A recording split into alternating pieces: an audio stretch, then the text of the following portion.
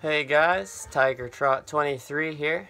Happy New Year to everyone. I hope you found a lot of good stuff over the last year and have been finding some cool things uh, these past few months too.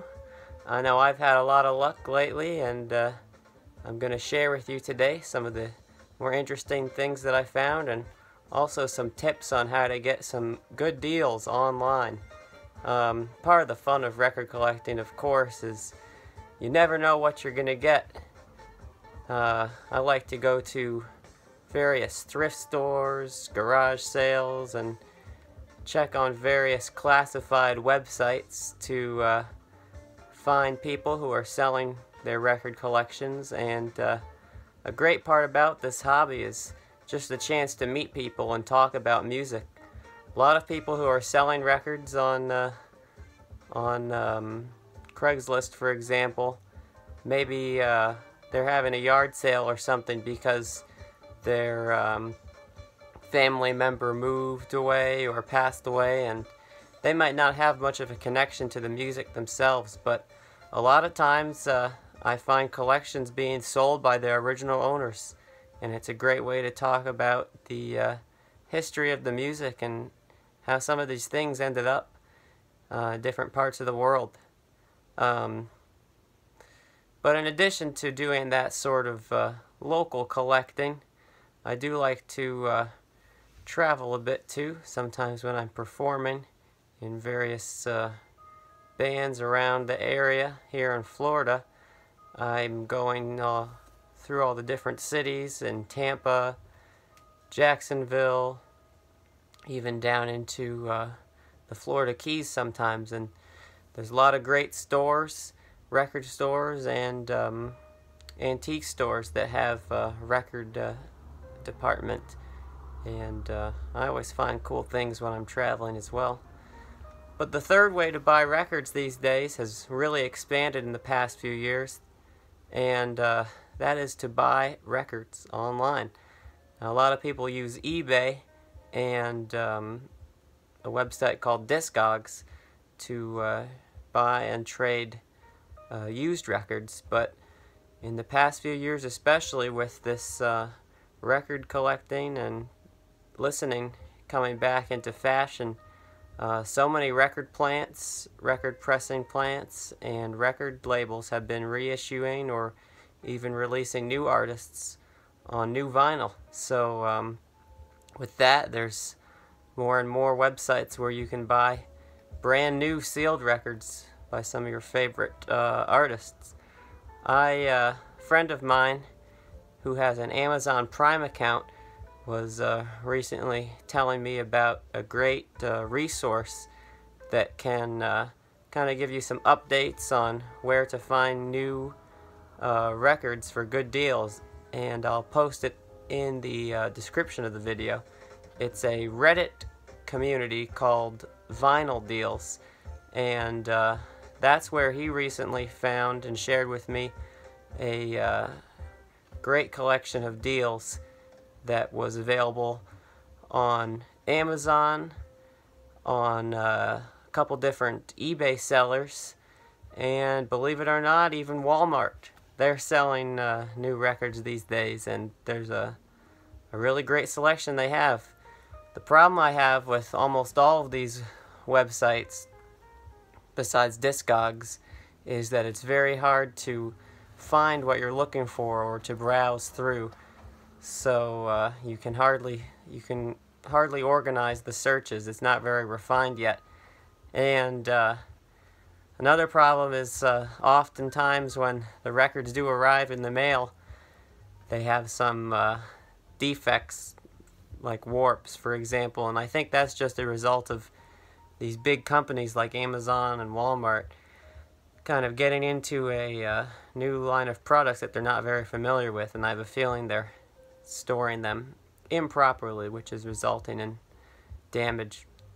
Almost 50% of everything that I've bought lately from these guys has been warped in some way, but because they're big companies, they have a great customer service and they'll let you exchange and return um, if there's anything wrong with any of the uh, albums that you buy. But anyway, this um, Reddit page called Vinyl Deals uh, recently was showing some of the uh, great deals that some of the members found, and uh, it kind of uh, saves you some time as the buyer, um, not having to scroll through so much uh, stuff on the poorly organized Amazon or, or Walmart pages. And uh, anyway, here's the, the first thing that I got. It's a uh, reissue of the uh, Ziggy Stardust um, soundtrack album, which is a live concert. It's the final um, concert from the uh, Ziggy Stardust era um, when David Bowie was doing that character and playing those songs. And uh, this reissue was pressed uh, just in the past few years. It's on super good, high quality vinyl. Um, pretty thick pressing and actually manufactured in Europe as well. It's a double album. It's not the complete concert, but it's all the songs that were originally released on the uh, uh, original pressing. And it comes with these pretty cool uh, inner sleeves that have some uh, information on them. It's a gatefold pressing, and uh, it was pressed, I think, somewhere in one of those European pressing plants that are known for their uh, high quality audio mastering. And uh, this one, fortunately, had no problems. I listened to it, it played great and sounded great. And uh, for a live recording, it really enhanced the uh, quality of the audio um, to listen to it on a perfect condition vinyl record. Uh, speaking of David Bowie, one of his uh, friends and collaborators after the uh, Ziggy Stardust period was the famous Brian Eno, who uh, has worked with uh, everyone from Pavarotti to U2 to Coldplay these days. Uh, anyway, back in the uh, mid 70s, before he uh, went on to work with David Bowie, one of his big influence influences was um, some of the uh, German electronic and experimental rock music that was going on in a couple different cities. And uh, one of the great bands from that era uh, was called Cluster. Uh, they were two guys, uh, Moebius and Roedelius, um, and they kind of invented this new way of playing um, using analog um, and electronic instruments without using sequencers um, in the way that some of their contemporaries like Tangerine Dream would do. They kind of developed their own technique for improvising using electronic sounds uh, created through analog instruments like a drum machine that's built into a, a family organ or um, special effects, simple special effects pedals like echo, reverb, and delay. And they created some extremely original and innovative sounds and um, recording techniques that have influenced all music that you hear today. Part of the reason that they reached a wider audience was thanks to Brian Eno. Uh, after he heard their album, which they collaborated with the guitarist from Neu, uh, Michael Rother, um, they formed a band called Harmonia, and that album is a classic from I think uh, 74 called Music von Harmonia, and that band Harmonia is just the two guys from Cluster, plus this guitarist from Neu.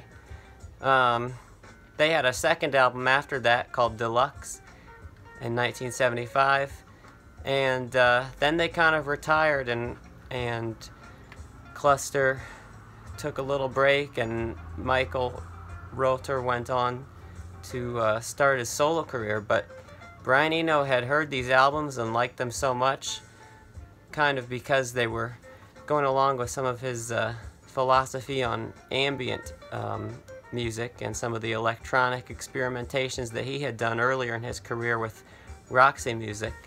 Um, their musical philosophies kind of went hand in hand, so it was kind of a natural fit that they would want to collaborate with each other. So Brian Eno reached out to them in 1976 and kind of convinced them to get back together and do some recording sessions with him. And uh, this is the album that resulted from that. It's called uh, Harmonia and Eno 76 Tracks and Traces. It's also a double album, and uh, it wasn't. It was recorded in 1976, but wasn't released until I think the 90s on CD. And this is the uh, reissue from 2009 on the Grönland record label. Uh, it's a double album. It's not quite the same quality as the uh, Bowie pressing.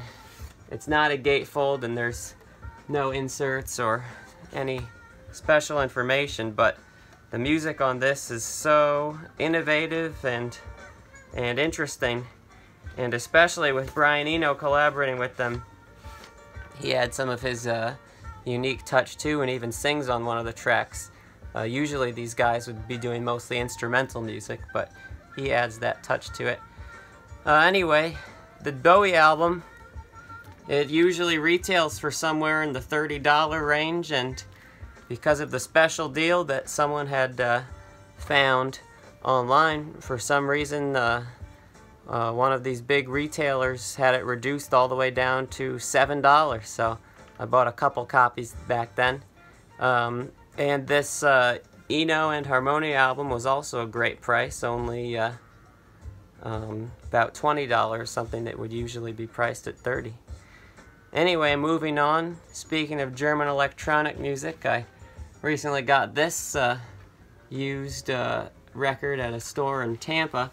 It's a uh, composer named Stockhausen who was uh, working from the 50s all the way into the 80s. Um, some of his coolest uh, compositions, I think, were in the 60s. And uh, I listened to an interesting radio documentary about his life. There's a a big uh, religious influence on some of his music that's kind of hard to to uh, tell, but he was raised in a strict Catholic thing, and a lot of the ideas that he has in his music have an influence from that structure. Uh, this album has some amazing sounds on it. It uses um, all these different microphone techniques to get a bunch of uh, electronic sounds out of the um, recording. And uh, this I got for only five bucks. I also got this uh, modern 20th century record with a pretty cool cover, also on the Columbia label from the 60s. Uh, this is a Leonard Bernstein, the great conductor and composer of West Side Story, and he's uh, conducting some new music by various composers, including the Hungarian composer uh, Ligeti, who did some music that was used in the uh, 2001 A Space Odyssey soundtrack to great effect. Um, Stockhausen's music, including a piece um, that used uh, tape recordings of children's voices in a uh, sort of collage style, was very influential on on the Beatles for their um, Revolution 9 song and also on uh, Tomorrow Never Knows, as well as the uh, legendary unreleased um, Carnival of Light. Uh, I also got this recently from a friend of mine. He found it at a uh, flea market and I bought it off him. It's an original UK pressing of the Buzzcocks debut album. And this has some uh, really great songs and and uh, playing on it as well. A lot of punk bands from back then and even today, they fall into two categories. Uh, sometimes they write good songs, but they can't play their instruments very well. Sometimes they play their instruments great, but their songs are pretty awful. But the Buzzcocks, thankfully, are one of those rare bands, such as the Ramones and and uh, the Clash, who actually can play their instruments and write amazing, beautiful songs that have uh, pop um, sensibility as well. And that's what made them pretty popular and influential. Um, this album also has some pretty interesting experimentation on it, which I also think may have been influenced by some of these German bands from a few years earlier. Uh, this album is from 1978, and uh, it has uh, some driving drum beats that are reminiscent of uh, Neu! Uh, speaking of punk, I got this. It's a soundtrack album uh, called Cruising, which is a film from 1979 featuring Al Pacino. Um, and uh, I picked this one up. I hadn't heard of it before, but I recognized the director's name. Um, he, uh, William Friedkin, and he did uh, a very cool movie called The The Exorcist, which has some great uh, modern 20th century music in it, as well as uh, some uh, Mike Oldfield Tubular Bells, which was used to great effect in that film as well. Uh, I haven't seen this film. It seems a little bit interesting, a, a crime mystery drama where Al Pacino goes undercover. And um, the reason I picked this up, besides the fact I recognized the director's name and knew his taste in music, was uh, I was looking at the songs, and uh, there's a song by a famous hardcore punk band called Germs um, from the Los Angeles scene.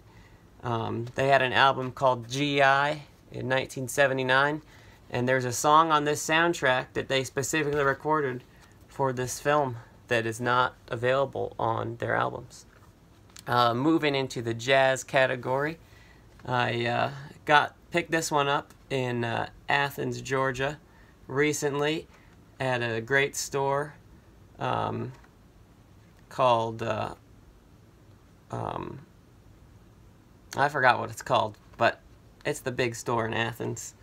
Anyway, uh, this is a great uh, record on the famous ECM label, which releases a lot of beautifully produced jazz and uh, modern classical music, minimalist stuff like Steve Reich.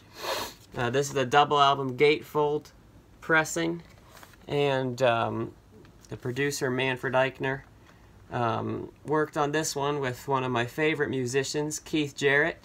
Uh, usually he's known as a pianist and sometimes saxophonist, but on this album he's playing a uh, Baroque organ, which has some beautiful tones and natural reverb from the building that it's in.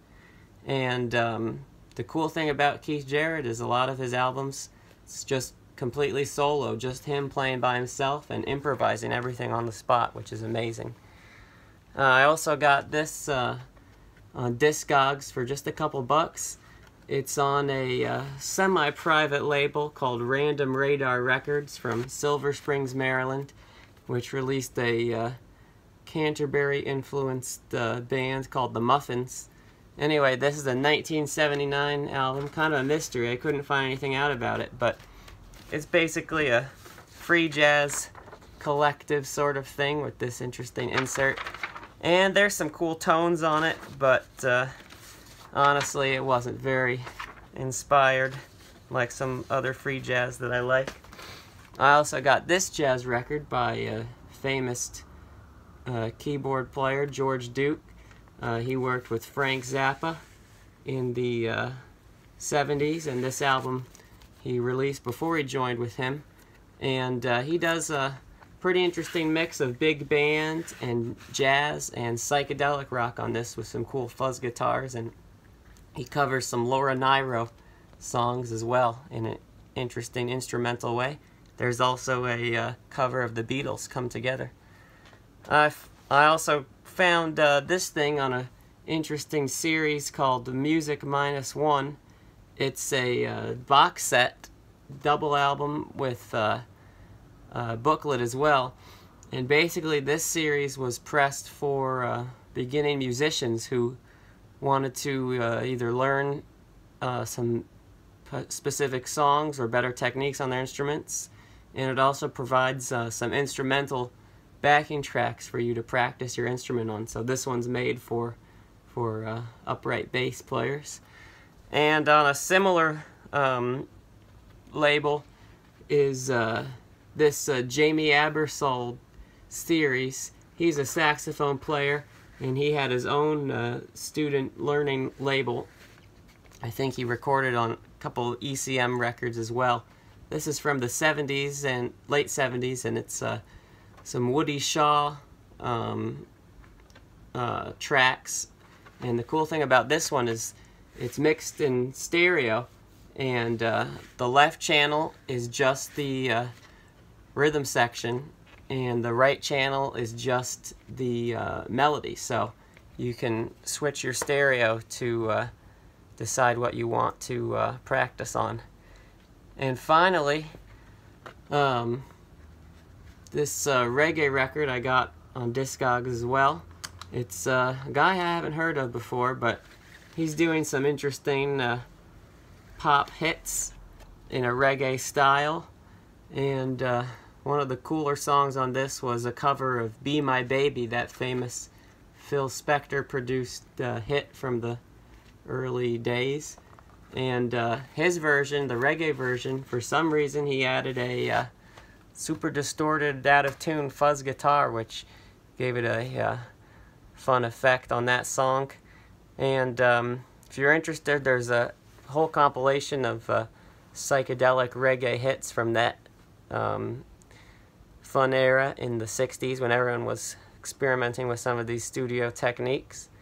And, um, oh, by the way, I should mention with that, those Music Minus One and uh, practice records, another cool thing that you can do with them is because of the mix and the original purpose, you can actually isolate some of the uh, instruments or rhythm parts and uh, DJs can use that for um, some mix or even forming a whole producing a whole new song on top of it uh, well anyway those are some of the cool things I found lately um, those reissues I got for a great price and once I figured out uh, the best uh, source and the best customer service I can see myself definitely buying more as soon as I see some cool things going up there.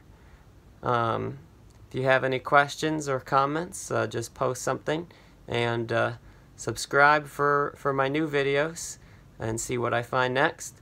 And also you can check out my uh, other videos to uh, see what I found um, in the past few months. Anyway, thanks for watching. I'll see you next time.